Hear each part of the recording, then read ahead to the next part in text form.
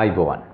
අදත් හරිදේ ටීවී නාලිකාවේ අපි ඔබගේ නිවසේ ආලින්දයට ගොඩවදින්නේ සුවිශේෂී කාරණාවක් නිසාවෙන්. අද දවසේ අපි ජීවිත සිහින වැඩසටහන හා සමගින් එකතු වන්නේ. ඒත් අපි අපේ හීනයක් නොවේ ඔබ වෙනුවෙන් ගෙන එන්න සූදානම් වන්නේ. අනුන්ගේ හීනයක් මේ රටේ යථාර්ථයක් බවට පත් වෙලා ලෝකේම ඇගීමට පත් වුණු සිහිනයක් පිළිබඳව අපි අද දවසේ කතා කරන්න බලාපොරොත්තු වෙනවා. මහැදුරු සරච්චන්ද්‍රයන් මලවුන්ගේ අවුරුද්දා කෘතියේ අපූරු සටහනක් තියෙනවා. එහි තියෙනවා ඔබ යන්න ඔබේ සුවඳත් රැගෙන යන්න කියලා. ඔබ අහලා තියෙනවා ඔබ කියවලා තියෙනවා දෙවොන්දරා සංගේ සහ නොරිකෝ සංගේ මේ අපූරු කතාන්දරය. හැබැයි මෑය මෙතුමිය අපෙන් ගියේ සුවඳත් අරගෙන නෙවෙයි ඒ සුවඳ අපේ ළඟ ඉතිරි කරලා. ඒ ඉතිරි කරපු මතක සුවඳ ගැන අපි අද කතා කරනවා. ඒ වගේම ජයලත් මනෝරත්නයන් ලෝකයේ තනියායක් කෘතියේ බොහොම අපූරු නාට්‍ය රූපී දෙවසක් එකතු කරනවා. ඒ තමයි මේ ලෝකෙ තියෙන්නේ යෑම් සහ ඊම් පමණයි. මේ ලෝකයට අපි එනවා ඒ වගේම අපි ලෝකයෙන් යනවා. හැබැයි අපිට පුළුවන් නම් සොඳුරු යමක් අපි යනකොට මේ ලෝකයේ වෙනුවෙන් ඉතිරි කරලා යන්න. ඒක මම හිතන්නේ අපි කාගෙත් නම ලෝකේ පුරා පවතින මේ විශ්වයට එකතු වන්නට හේතුවක් වෙන්නට ඇති. අද දවසේ අපි කතා කරන්නේ තමන් මේ ලෝකෙන් නික්මිලා යනකොට තමන්ගේ මතක සුවඳත් එක්ක ලෝකයට යමක් ඉතිරි කරලා ගියපු ඒ ශ්‍රේෂ්ඨ ලේඛිකාව පිළිබඳව. මේ පිළිබඳව කතා කරන්නට අපි අද දවසේ අපේ මැදිරියට කැඳවා ගත්තා ඔබට හුරු පුරුදු චරිත දෙකක්. වර්ණන් පෙරේරා මහත්මයා, අයිබෝන් වර්ණන් පෙරේරා මහත්මයා. ඒ වගේම ඔබට කවදත් මා හුරු පුරුදු අපේ විධානපතිට මහත්මයා. අයිබෝන් විධානපතිට මහත්මයා. මගේ පූර්විකාවත් එක්ක ඔබට හිතන්නට යමක් ඉතුරු වෙන්නට ඇති. අවුරුදු 97ක් කියලා කියන්නේ පුංචි කාලයක් නෙමෙයි. දශක 9කුත් තවත් අවුරුදු 3ක් ගෙවිලා. සියවසකට ඔන්න මෙන්න කාලයක් මේ ලක් දෙරණ ඇතුලේ මේ දෙරණ තුල ජීවත් වෙලා බොහෝ දේ අපිට ඉතිරි කරලා අපෙන් සමුගත්ත ඒ ලේඛිකාව සිබිල් වෙත්තසිංහ එහෙම නැත්නම් අපි දරුවන්ගේ ආදරණීය සිබිල් නැන්ද වෙනුවෙන් අපි අද ජීවිත සීන වැඩසටහන වෙන් කරනවා. වරන් පෙර මහත්මයා. ඔබේ මතකය අවදි කරන්නට මම ආරාධනා කරනවා සිබිල් නැන්ද පිළිබඳව. ඇත්තෙන්ම සම්පත් අපි හර්දේ රූපවාහිනී නාලිකාවෙන් ජාතියට අලුත් දෙයක් අලුත් විදියකට ලබා දෙද්දී අද මේ මාතෘකාව කතා කිරීමේදී අපිට ශෝකයකුත් ජනනය වෙනවා අපේ ළඟ. මොකද ඇය දකුණු පළාතේ ඉපදිලා රටටම ලෝකෙටම මහ විශාල සේවයක් සිද්ධ කළ ඒ වගේම විශේෂයෙන් දරුවන්ගේ වැඩිහිටියන්ගේ කාගෙත් ජනාදරයට පත්වෙච්ච ලේඛිකාවක් චිත්‍ර ශිල්පිනියක්. ඇගේ චිත්‍රවල ශ්‍රේෂ්ඨභාවය නිසා තමයි අපට පුංචි කාලෙදී ඇයගේ බොහෝ මිහිරි මතක තිබුණේ සම්පත්. මට මතකයි කුඩ හොරා පොත. ඒ කුඩ හොරා පොතේ ඇයගේ ඒ තිබුණු චිත්‍රවල ශෛලිය අදටත් මට හරි මතකයි. අතේ ඇඟිලි පහම සම්පත් එකම පැත්තෙන් තමයි තියෙන්නේ. පුංචි මට ඒක හරි ගැටලුවක්. අපි අස බලනවා චිත්‍ර බලනවා අත බලනවා. අපේ අතේ මහත් ඇඟිල්ල තියෙන වෙනස් විදිහකට. නමුත් චිත්‍රයේ ඇඟිලි පහම එක විදිහට තියෙනවා ඇඳලා. නමුත් ටික ටික ලොකු විදිහ අපිට තේරුණා ඒකේ භාවපූර්ණ මේ චිත්‍ර හැකියාව කොපමණ සංවේදී වුණාද කියලා. අම්මා දූගේ දිහා බලන් ඉන්නවා. ආච්චි දරුවගේ දිහා බලන් ඉන්නවා. කුඩා බලලෙක්, කුඩා බල්ලෙක්, එහෙමත් නැත්නම් වෙනත් සතෙක්. ඇය චිත්‍රයක් විදිහට ඇඳොත් සම්පත් කොපමණ හැඟීමක් එක්ක දේ සතා ඇඳලා තියෙන්නේ. ඒ සතා සිනහමුසුව තමයි බලන්නේ පුද්ගලෙක් දිහා හෝ සතුටු දනවන තැනක් නම් ඒ චිත්‍රයට අදාළව තිබුණේ. ඉතින් පුංචි කාලේ සිබිල් එත්තසිංහ නැන්දා කියලා අපිත් කිව්වේ ඇයට ඒ කාලේ විදිහට ඇය මා හිතනවා බොහෝ වයස්ගත වෙලා ඉන්නේ නැති අපි පුංචි කාලේ සම්පත්. නමුත් වයස අවුරුදු 93ක් කියන්නේ දීර්ඝ කාලයක්. ඒ වගේම තමයි අපේ මිහිරි මතක රාශියක් තියෙනවා. ඇයගේ චිත්‍ර විතරක් නෙමෙයි කතා විතරක් නෙමෙයි සම්පත්. අවසාන භාගයේදී පළාත් සභාවක් විදිහට දකුණු පළාත් සභාවේ රාජකාරී කරද්දී ඇය වෙනුවෙන් යුතුයකමක් ඉෂ්ට සිද්ධ කළා. අප කිහිප දෙනෙක් එකතු වෙලා විශේෂයෙන් පළාත් සභාව විදිහට ඒ සම්බන්ධවත් අපි ඉදිරියේදී කතා කරමු.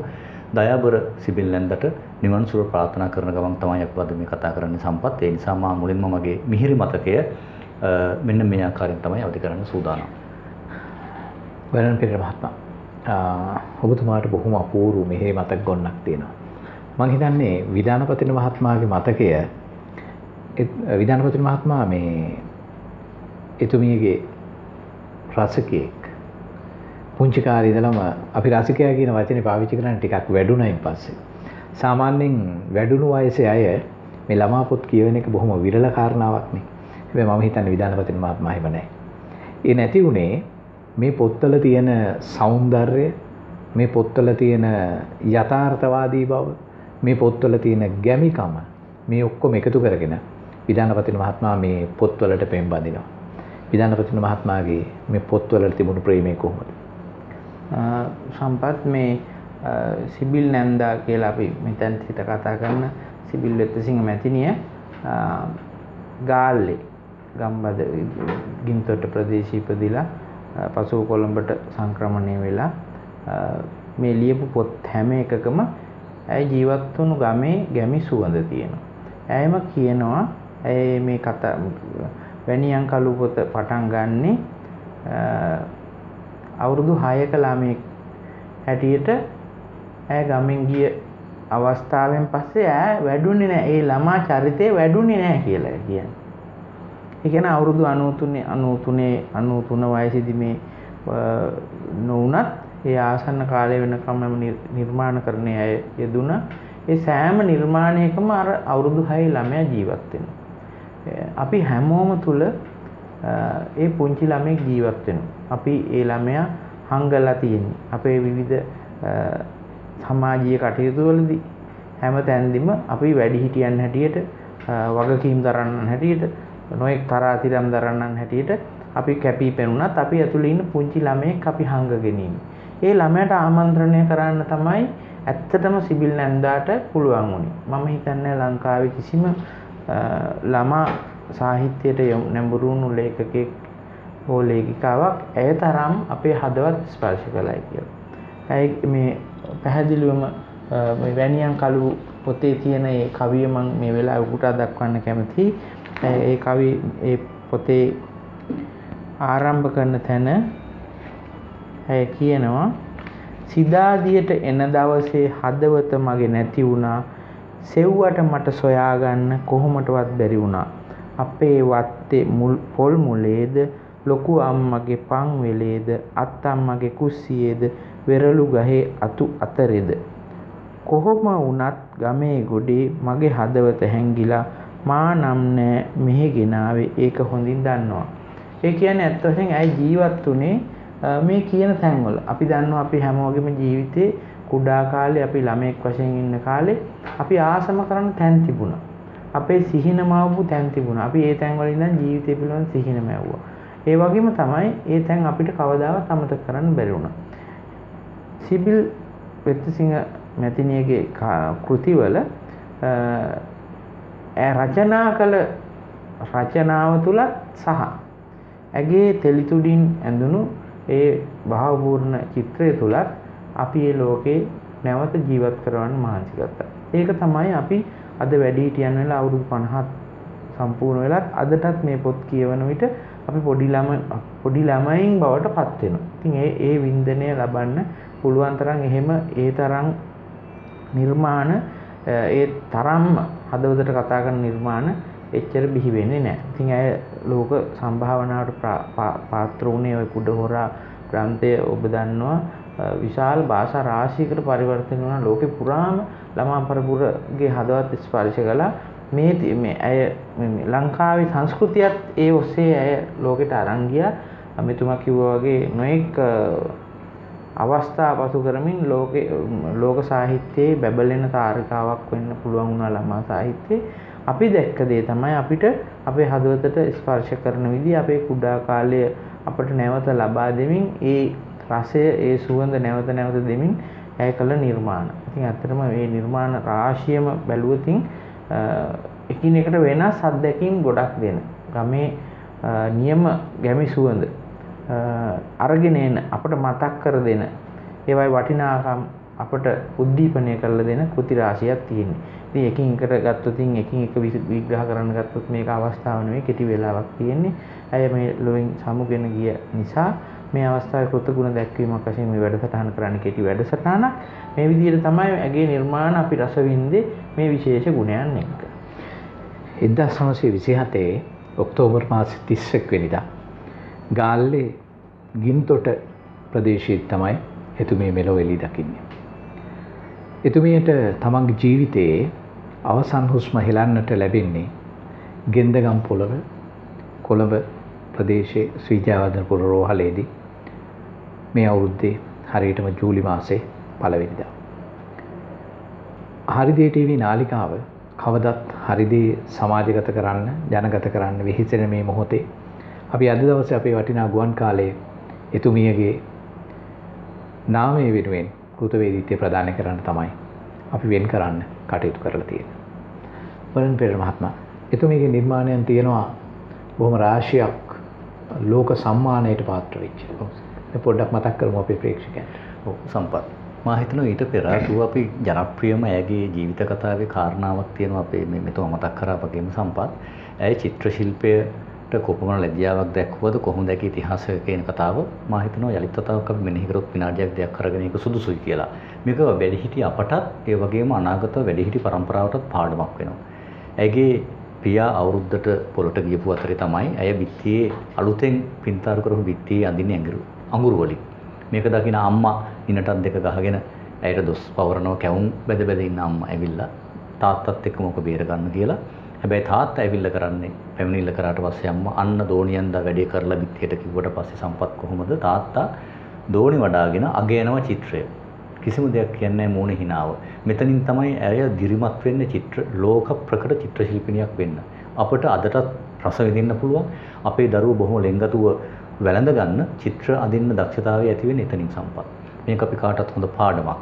දරුවෙක්ගේ දක්ෂතාවය මොට කරන්නත් පුළුවන් දෙමාපියන්ට ඒක ඔප්නම් වල ජාත්‍යන්තර මට්ටමේට විතරක් නෙමෙයි මුළු විශ්වෙටම සම්භාවනාවට පාත්‍ර වෙන කලා හැකියාව තියෙන මිනිස්සෙක් බිහි කරන්නත් පුළුවන්. මෙන්න මේක ඉල්ලීමක් විදිහට කරන අයට ගෞරවයක් විදිහට ගින්තොට ග්‍රාමයේ ඔබ කිව්ව ආකාරයෙන් අය ඉපදිලා ඒ වගේම විශ්ව සම්භාවනාවට ප්‍රාප්ත වෙලා ප්‍රාප්ත වෙන්න පුළුවන් මට්ටමට ඇය පැමිණෙන්නේගේ තාත්තගේ තිබිච්ච මේ මෘදු ගුණය නිසා. ඒකෙන් අපි කියනවා සම්පත් බෞද්ධ දර්ශනය පැහැදිලිව කියනවනේ දරුවෙක් වුණාම පුතෙක් නම් කියලා කියන්නේ පුතා කියලා කියන්නේ දුරටත් එක්කම තමයි ඒක කියන්නේ. සමජාත වෙන්නට පුළුවන්. එහෙම ඒ කියන්නේ දෙමාපියන්ගේ මට්ටමට එන්න පුළුවන්. එහෙමත් නැත්නම් අවජාත කියනවා ගොඩක් පහත් නැත්නම් නරක විදිය කෙනෙක් වෙන්නත් පුළුවන්. නැත්නම් අතිජාත වෙන්න පුළුවන්. සිබිල් එත්තසිංහයන් ගැන කිව්වොත් ඇය අතිජාත දියණියක්. දෙමාපියන්ට යන්න බැරි වෙච්ච තැන් වලට ගියපු දියණියක්. ඉතින් ඔබ විමසුවේ ඇගේ මේ ජාත්‍යන්තර සම්භාවනාවට පාත්‍ර වෙච්ච ග්‍රන්ථ සම්බන්ධයෙන් රාශියක් සම්පත් ග්‍රන්ථ තියෙනවා මා හිතනවා 30කට වැඩි සංඛ්‍යාවක්. ඇය අවසාන කාලෙදිත් බොහොම දක්ෂ විදියට පර්යේෂණ මට්ටමින් කළ ග්‍රන්ථය ගැන අපි කතා කළ යුතුමයි සම්පත් අද දිනේ ගිය අවුරුද්දේ. ඇයගේ ජීවිතයේ අවසානයේ සම්පූර්ණ කරන්නට ඉස්සර වෙලා ඇය ගිය වසරේ මේ මාසයේ නොවැම්බර් මාසයේදී සම්පත් මගේ මතකය නිවැරදි නම් ඇය මේ පර්යේෂණ කෘතිය ඉදක්වන්නේ පර්යේෂණයක් විදියට යන්නේ පුදුම පළඟුව වන්ඩර් ක්‍රිස්ටල් කියලා කියනවා මේක ලෝක ඉතිහාසයේ චිත්‍ර ශිල්පිනියක් ග්‍රන්ථ රචිකාවියක් පළමු වතාවට කර පර්යේෂණයක් ආකාරයෙන් තමයි මේක යන්නේ ඇය කෘතියක් නිර්මාණය කරනවා මේ නම් කිව් වන්ඩර් ක්‍රිස්ටල් කියන එක ඉංග්‍රීසි භාෂාවටත් හැරවෙනවා මේකේ ඇය අවසානයක් කරන්නේ නැහැ මේ ග්‍රන්ථයේ දරුවන්ට දෙන අවස්ථාවක් තමන් කැමති විදිහට මේ ග්‍රන්ථය අවසන් කරන්න. ඇත්තටම විශිෂ්ට නිර්මාණයක්. විශිෂ්ට කල් සංකල්පනාවක් නේද? අපි කාටවත් එහෙම හිතෙන්නේ අපිට බොහෝ වෙලාවකදී ග්‍රන්ථ රචකයෝ ඔවුන් ඒකාධිපතියන්. මා එක්ක අමනාප වෙන්න එපා කිසිම කලාකරුවෙක්. ඔවුන් ඒකාධිපතියන්. තමන්ට ඕනම දේ තමන් ලියලා අනිත් අය කැමැත්තෙන්ම වකමැත්තෙන් ඒ ග්‍රහණය කරගත යුතුමයි. ඒක තමයි ග්‍රන්ථ කර්තෘවරුන්ගේ නියමය. ඒක මාත් එක්ක අමනාප වෙන්න එපා කිව්වෙත් ඒකයි. නමුත් මැය විශේෂ තිරණයක් දෙනවා දරුවන්ට. ඒක පරිශ්‍රණයක්. ඒ නිසා 2005 2020 සමා වෙන 2020 මේ අවුරුද්දේ මාර්තු මාසේ 5 වෙනිදා විය යුතු සම්පත් ඇයට ගිනස් වාර්තාවක් තබන්න හැකියාව ලැබෙනවා. පාසල් දරුවෝ 20000කට වැඩි සංඛ්‍යාවකටයි ඇය මේ ඉදිරිපත් කරන්නේ ඇගේ පුදුම පළිඟුව කතාව.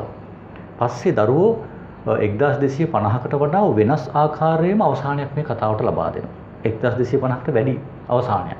හිතන්න සම්පත් සාමාන්‍ය ග්‍රන්ථයකදී අපි බලාපොරොත්තු නොවන ආකාරයෙන් ග්‍රන්ථයේ අවසාන වුණොත් කතාව අවසානය වුණොත් විශේෂයෙන් චිත්‍ර ශිල්පිනියක් විදියට අත ග්‍රන්ථ රචකාවක් විතර දරුවන්ගේ මනසට ඇඳෙන කොච්චර කොපමණ ඇයට මේ දරුවට ලැබෙනවද ප්‍රීති ප්‍රමෝදයක්. ඒ ග්‍රන්ථය බලලා ඔහු බොහොම මේ උත්කර්ෂයකට පත් වෙනවා. අපත් ඒකනේ කරන්නේ සම්පත්. දුක්ඛදායක කතාවක් වුණත් කුමන ආකාරයේ අවසානයක් වුණත් අපි ප්‍රහර්ෂයට පත් වෙනවා. නමුත් මේකෙදි ඇය මේ සම්භාවනාවට පාත්‍ර වෙච්ච ග්‍රන්ථයේදී ඇය අවසන් කරන්නේ නැහැ. 1250කට වැඩි අවසාන තියෙනවා. ලෝක ඉතිහාසගත වෙන කතාවක්, ලෝක ඉතිහාසගත වෙන ග්‍රන්ථයක්. ඇයට ලැබෙනවා ඒ අදාළ සම්මානය. ඔබට මේ හෘදේ ටීවී නාලිකාව ඔස්සේ ඡායාරූප බලා ගන්නට පුළුවන්කම ලැබේවි. අදාළ සම්මානය ගන්න ආකාරයත් විශේෂයෙන්ම ශ්‍රී ලාංකික ලේඛිකාවක් සිබිල් නැන්දට ආදරණීය සිබිල් නැන්දට ඒ සම්මානය ලැබෙන ආකාරය. ඊට අමතරව සම්පත් ජපන් භාෂාව, කොරියන් භාෂාව, ස්වීඩන් භාෂාව, නෝවීජියන් මේ ආදී භාෂා ගණනාවකට ඇගේ ජනප්‍රිය චිත්‍ර විශේෂයෙන් කුඩ හොරා ග්‍රන්ථය. මෙතුමා කිව්වා වගේම කුඩ හොරා ග්‍රන්ථය අතිශය ජනප්‍රිය වෙනවා. අදටත් ජපන් පෙළපොත් කිහිපයකත් ජපන් පොත්වලින් සල්වලත් මේ කුඩ හොරා ග්‍රන්ථය කොරියන් සහ ජපන් දරුවන් අතරේ හරිම ජනප්‍රියයි. විශේෂයෙන්ම සඳහන් කළ යුතු ඇගේ මේ චිත්‍ර.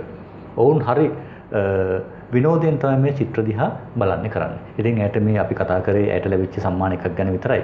ජපානයේ බුන්කා සම්මානයට පවා ඇය ප්‍රාප්ත වෙන්න නියමිතව තිබුණා. ඒ වගේම තමයි විශේෂයෙන් රටක් විදියට අපව බටහිර රටවල් වලට අරගෙන යන්නට ඇය කුදු මහ විශාල මෙහෙයක් ක්‍රිස්ත සිද්ධ කළා. දරුවන්ට කතා කරන එක දරුවන්ට ආමන්ත්‍රණය කරන එක අපි බොහෝ දුරට හිතාගෙන හරිම ලේසි පහසු වැඩක් කියලා. හැබැයි දරුවන්ගේ හිත දිනාගෙන දරුවන්ට ආමන්ත්‍රණය කරනවා කියන එක නම් ලේසි පහසු වෙන්නේ නැහැ. මේකෙදී අම්මට ලැබෙන පාර්ශවය එහෙම නැත්නම් ලැබෙන කොටස මහ විශාලයි. ඒක නිසා වෙන්නට ඇති අම්මා ළඟට අපිට ඊටාත්ම සමීපව ඉන්නේ නැන්දා. මේ සිබිල් විත්‍රසිංහ මැතිණිය සිබිල් නැන්දා කියන අන්වර්ථ නාමයෙන් අපි දරුවෝ හඳුන්වන්නට පෙළඹෙන්නට ඇත්තේ. විධානපති මහත්මයා. ඒ ඔබතුමා සඳහන් කළා මේ මේ චිත්‍රවල තියෙනවා පුදුම සජීවී බවක්. මේ චිත්‍රවල තියෙනවා හරි අපූර්ව චරිත. ඇය ජීවත් වුණේ මුල් කාලේ ගින්තොට ගමේ ගමේ ඉඳලා අවසාන භාගය යනවා මේ ගෙන්දගම් පොළොව තියෙන කොළඹ පුරවරයට. කොළඹ පුරවරයට යනකොට මේ වැනියන් කලුව කෘතිය තියෙනවා හදවත අර ගමේ තීච්ච හදවතමයි අරගෙන ගියේ කියලා. ඒතර ගමේ තිබුණු හදවත නගරයට අරගෙන ගිහිල්ලා ඒක නිර්මාණයක් බවට පරිවර්තනය කරනකොට කොහොමද ඔබ දැක්කේ මේ නිර්මාණවල තියෙන ගුණය සජීවීභාවය? සම්පත් මේ ළම්මා වයස තමයි කුජ්ජලිගේ පෞරුෂ වර්ධනය කෙරෙහි අතිශයින්ම බලපාන මූලික චරිත ලක්ෂණ ගොඩනැගෙන්න සහ ස්ථාවර වෙන්න බලපාන කාලය. එතකොට මෙතුමියගේ කෘතිවල ඔබ ඔබ දැන් චිත්‍ර ගැන කතා කරා මම ඒ චිත්‍ර වලට එන්න කලින් මම විශේෂ දෙයක් කියන්න ඕන සමහරට ඇතැම් අය දන්නෙත් නැතුව ඇති එතුමිය ජාතික ස්වාධීන රූපවාහිනී වැඩ මේ දොරමඩලා වැඩසටහනකදී එතුමිය අනාවරණය කරා එතුමිය උපතින්ම එක් ඇසක් පේන්නේ නැති දරුවෙක් වුණා. ඒක එතුමිය දැනගත්තෙත් අවුරුදු 30 ගාණක් ගිහලා තමයි ඇහක් පේන්නේ නැහැ කියන එක දැනගන්නේ. නමුත් එතුමිය මේ චිත්‍ර කරන මේ නිර්මාණ කරන චිත්‍ර ඇඳීම වගේ ඒවා මේ අපි හිතනවා පසිදුරන් 100ට 100ක් සක්‍රියව දීලා කරන්න ඕන කියලා. නමුත් ඇගේ චිත්‍ර දැක්කම අපිට කවදාවත් හිතෙන්නේ නැහැ ඒක ඇසකින් ඇඳපු චිත්‍ර කියලා. ඇයගේ චිත්‍රවල තියෙන ඒ අනන්‍යතාවය විශේෂයෙන් චිත්‍ර විතරක් නෙවෙයි මම මේ කියන්න ගියේ මුලින්ම ඇය ඇගේ නිර්මාණවලදී මේ පවුල දැන් අද තියෙන මේ අපේ තියෙන මේ හැකුළුණු පවුල නෙවෙයි ගම්බද විස්තෘත පවුල. ඒක ආත්තම්මා සීයා නැන්දා.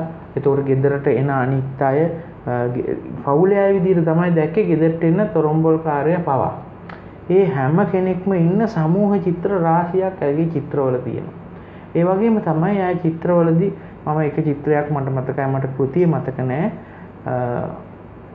ස්ත්‍රීන් පෙළක් පේලියට ඉඳගෙන එක එක්කෙනාගේ ඔලු උකුණු බලන චිත්‍ර පෙළක්.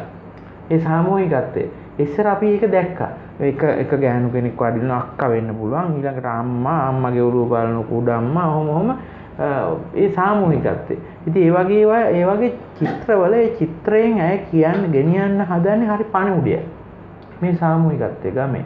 ඒ වගේම තමයි දරුවන්ට ඇගේ නිර්මාණවල මෙවැනියන් කළු නිර්මාණෙත් විශේෂයෙන්ම තියෙනවා ඇය වතු වලට පැනලා එක එක දේවල් අහුරන් පළතුරු ආදී අහුලන් යනකොට එලවන් එන හැටි එහෙම තියෙනවා. නමුත් දරුවන්ට ගමේදී තිබුණු ආරක්ෂාව ගැන ඇත්තටම ගමේ එක එකිනෙකාට නෑදෑකම් වලින් ආමන්ත්‍රණය කරන හැම කෙනාම හැම දරුවෙක්ම තමන්ගේ දරුවෙක්සේ සොයා බලන වටපිටාවකයි ඇය හැදුන වැටුනේ. එතකොට දරුවන්ට ඒ කාලේ දරුවන්ට ගැහැණු දරුවෙක් වූ ඇයට අද කාලේ අපි බැලුවහම අපි ඉතාමත්ම කනගාටුදායක තත්ත්වයක් තියෙන ඒ එක සංසන්දනාත්මක බලනවා. නමුත් ඒ තිබුණු ආරක්ෂිත වටපිටාව පණිවිඩයක් ඔස්සේ අය අරගෙන එනවා අපේ සමාජෙට. චිත්‍රයක් ඔස්සේ අරගෙන එනවා. කවියක් ඔස්සේ අරගෙන එනවා අපේ සමාජෙට. ඒගොල්ලන් ඒ ඒ ගත කළ කාලෙද කොතරම් ආරක්ෂිතද කියලා. ඊළඟට අගේ නිර්මාණවල විශේෂයෙන් සවිස්තරාත්මක බව චිත්‍රවල තියෙනවා සවිස්තරාත්මක. අපි සමහර වෙලාවට අපි චිත්‍ර අඳිනවා දැකලා තියෙනවා මෑත කාලේ චිත්‍ර ශිල්පීන්ගේ චිත්‍ර ඇඳලා තියෙනවා. ඔවුන් ප්‍රධාන මාතෘකාවට තමයි ලොකු අවධානයක් යොමු කරන්නේ. වටපිටාව තියෙන සෙසු අවශේෂ කරුණු ගැන ඒ තරම් අවධානයක් යොමු කරන්නේ ඒවයි අදහස් ප්‍රකාශ කිරීම චිත්‍රවලින් හැඟීම් ආදී ප්‍රකාශ වීම ගැන අවධානයක් නැහැ. නමුත් ඇගේ චිත්‍රවල ඇගේ මුළු චිත්‍රයක බැලුවතින් සම්පූර්ණ ගම කියන්නේ ගෙවල් කීපයක් එකට ඇඳලා ඒ ගෙවල් වල ඉන්න මිනිස්සු ඇඳලා බල්ලෝ බලල්ලු ඇඳලා ගස්වල සත්තු ඇඳලා වඳුරෝ ඒ හැම කෙනාගේ මේ හැම සතාගෙම මුහුණෙන් පේන ඉම්ප්‍රෙෂන් එක ඒ කියන්නේ හැඟීම අදාළ ප්‍රස්තුතයට යොමු වෙන විදිහට ඇඳලා තියෙනවා සවිස්තරාත්මකව. මේක පුදුම භාවනාවක්. يعني සමස්තය දෙය හොඳින් බලලා තියෙනවා. සමස්තය දිහාමත් හොඳින් බලලා අර මිනිස්සු කලබල නැති. ඇගේ ජීවිතයේ ඇගේ රචනාවල දැන් මේ වැනියන් කළු වැනියම් පොත අවුරුදු ගාණක් සංශෝධනය කළයි කියලා කියනවා. ඉවසීම තියෙනවා. මේ ඉවසී කලාකෘතියක් කරන කෙනෙකුට විශේෂයෙන් තියෙනවා. ඉවසීම සහ සාවධාන බව. ඇගේ නිර්මාණවල විශේෂයෙන් තියෙනවා. ඉතින් මේවත් එක්ක දැන් අපිට හිතන්න ගොඩාක් දේවල් තියෙනවා. අපේ ළමයින්ට අපි පුරුදු කරන්න ඕන මොකක්ද කියන එක මේ නිර්මාණවල තියෙනවා. ඉතින් අවාසනාවට මේ බඳු මේ බඳු සුවිශේෂී හැකියාව තියෙන අය ඉතාම අඩුයි. අඩුයි කියන්නේ ඇත්තෙම නැති ගානයි. දැන් අපිට ඊළඟට අනුප්‍රාප්තික ගැන ඇය වැනි කෙනෙක් ගැන විශේෂයෙන් ලංකාවේ බැඳ චරිත තියෙනවා මහගමසේකර ප්‍රේමකීර්ති දල්විස් එතකොට මෙතුමිය වගේ විශේෂයෙන් ටයිටස් තොටවත්ත වගේ චරිත සුවිශේෂී. ඒවා රීප්ලේස් වෙන්නේ කවදාවත් ඒවට තැන් ආලුත් කෙනෙක් ආවේ නැහැ. සුවිශේෂී. ආදේශකයක් ආදේශකයක් නැහැ. ඒකමයි මෙතුමියගේ විශේෂත්වය. ඉතින් ඒ නිසා මේ නිර්මාණවල ඉන්නේ ඇය නිර්මාණ හරහා ගේන්නේ අර පණිවුඩේ ගේන්නේ ඇගේ හදවතේ තියෙන පණිවුඩේ ඔබ කිව්වා. හැබැයි විධානපති මහත්මයා එතුමිය අපෙන් වෙන් වෙලා ගියාට එතුමියගේ හදවත අපි ළඟ තියලා ගිහින් තියෙනවා. ඒ හදවත තමයි මේ මහා පොත් ගුණ පොත් විශාල ප්‍රමාණයක් අපිට එකතු කරලා ඉතුරු කරලා තියෙනවා. අපේ දෙමව්පියන්ට අපි හරිදේ ටීවී නාලිකාව විදිහට ඉල්ලීමක් කරනවා. එතුමියගේ හදවත දරුවන්ට දිග ඇරලා දෙන්න. එතුමියගේ සිහිනය එතුමියට දකින්න. සාමාන්‍යයෙන් වරණ පෙර මහත්මයා මේ අපි දැකලා තියෙන ලංකාවේ තියෙන ක්‍රමවේදය තමයි කෙනෙක් මිය ගියයින් පස්සේ සමහර වෙලාවට ඔහු වෙනුවෙන් එහෙම නැත්නම් ඇය වෙනුවෙන් සම්මාන ප්‍රදානයන් කරනවා. එහෙම නැත්නම් ಗುಣ වැයීම් කරනවා. මම හිතන්නේ එහෙම නැති එක අවස්ථාවක් අපිට මේ අවස්ථාව ඉදිරිපත් කළොත් හොඳයි කියලා හිතෙනවා. ඒ තමයි දකුණු පළාත් සභාවේ ඔබතුමන් සංස්කෘතික හා කලා කටයුතු අමාත්‍යාංශයේ අමාත්‍යංශ ලේකම්වරයා වශයෙන් කටයුතු කරන කාලේ ජාතියේ කෘතවේදීත්වය එතුමියට පුද කරන්නට අවස්ථාව ලැබුණා. අපි පොඩ්ඩක් අපේ ප්‍රේක්ෂකයන්ට ඒක මතක් කරමු. ඇත්තෙන්ම සම්පත් මා හිතනවා දකුණු පළාතේ අපි අපි ගැනම කියා ගන්නවා කියලා අමනාප වෙන්න එපා. ජාතියේ ප්‍රණාමයටත් වඩා පළාතේ ප්‍රණාමයයි අපි පුද කරේ ඇයට ඔබට ස්තුතිවන්ත වෙනවා ඒ සම්බන්ධයෙන් ස්මරණය කළාට 2018 වසරේදී ඇය බොහෝම හොඳ සිහි කල්පනාවෙන් ඉන්න අවස්ථාවකදී අපට ඉඩකඩ ලැබුණ සම්පත් දකුණු පළාතේ ඉපදිලා දකුණු පළාතට විතරක් නෙමෙයි රටට විතරක් නෙමෙයි ජාත්‍යන්තර තලයට ශ්‍රී ලංකීය නාමයක් දකුණු පළාතේ නාමයක් අරගෙන ගිය අපේ සිවිල් නැන්දා වෙනුවෙන් යුතුයකමක් ඉෂ්ට සිද්ධ කරන්නට. ඇයගේ අසනීප තත්වයන් කිහිපයක් මත ඇය අහම්බෙන් වගේ සම්පත් මට කතා කරා සංස්කෘතික අමාත්‍යාංශයේ ලේකම්වරයා විදියට. මා දුරකථන ඇමතුම ලබා ගත්තෙත් අහම්බෙන්. එදින මට විශේෂ වැඩ රාජකාරී තිබුණත් අහම්බෙන් කුමන හෝ ආකාරයකින් මට දුරකථන ඇමතුමට ආමන්ත්‍රණය කරන්න ඉඩකඩ ලැබිලා ඇය ඉල්ලීමක් කළා මා සම්බන්ධයෙන් ඇය දන්නේ නැහැ. නමුත් මා දන්නවා ඇය සම්බන්ධයෙන් බොහෝ විශාල තොරතුරු ප්‍රමාණයක්. ඇය අසනීප තත්ත්වයෙන් නිසා ඉන්නේ ඇයට උපකාරයක් කළ හැකිද කියන කාරණේ සම්බන්ධයෙන් විමසීමක් කළා. ඒ වගේම තවත් විශේෂ කාරණයක් මතක් කළා සම්පත් ඇය පදිංචිව සිටි අපි මේ කතා කළ ඇයගේ නිවස සම්බන්ධෙනුත්. එතෙන්දී අපට පුළුවන්කම ලැබුණා ඒවකට ඉඳපු අපේ අමාත්‍ය මණ්ඩලයත් එක්කත් ගරු අමාත්‍යවරු එක්කත් කතා බහ කරලා ප්‍රධාන ලේකම් කාර්යාලය හරහා අපේ අමාත්‍යාංශය හරහා දකුණු පළාතක් විදියට ඇයට උපකාරයක් කරන්න අපිට දෙකට ලැබුණා. අප ඇය වෙත ඒ සෞඛ්‍ය තත්ත්වය මත සලකලා ඇයට අප වර්තමානයේ හැටියට අපි විශාල මුදලක් ඇය වෙනුවෙන් ලබා දුන්නා. ඇගේ නිවසටම ගිහිල්ලා ඒ මුදල ලබා දීලා ඇයත් සමග අපි බොහොම විවේකයෙන් පැය එකහමාරකට වැඩි කාලයක් ගත කරලා ඇයට චිරජීවනය ප්‍රාර්ථනා කරලා තමයි සම්පත් අපි ආවේ. මා හිතනවා පළාතක් විදිහට අපි ඇය අපව හැර යන්නට ඉස්සර වෙලා පළාතේ යුතුයකම් අපි ඉෂ්ට සිද්ධ කළා කියලා. මා එතනින් සෑහීමකට පත්වන්නේ නැහැ. ඇය වෙනුවෙන් මේ ලබා දුන් මුදල ඇය අපේ පළාතට කළ සේවයට රටට කළ සේවයට හිලව් වෙනවා එහෙමත් නැත්නම් සම වෙනවා කියලා. නමුත් මා හිතනවා ඇත්තටම සතුටුයි අමාත්‍යාංශ ලේකම්වරයෙක් විදිහට විශේෂයෙන් සංස්කෘතික අමාත්‍යාංශයේ පළාතේ ප්‍රණාමය ඇයට පුදු කරන්නට ජීවත් වෙන ඉදී දෙකට ඒත් එක්කම පෙර මහත්මයා එතුමියගේ සිහිනයක් තිබුණා පළාතට යමක් කරන්න. සම්පත්. ඒ ඒ සිහිනය පිළිබඳව දන්නේ ඔබතුමා විතරයි. ඒකත් අපි ප්‍රේක්ෂකයන්ට මතක් කරා. ඇත්තෙන්ම මේක පළමු වතාවට හෘදේ නාලිකාව හරහායි සමාජයට යන්නේ සම්පත්.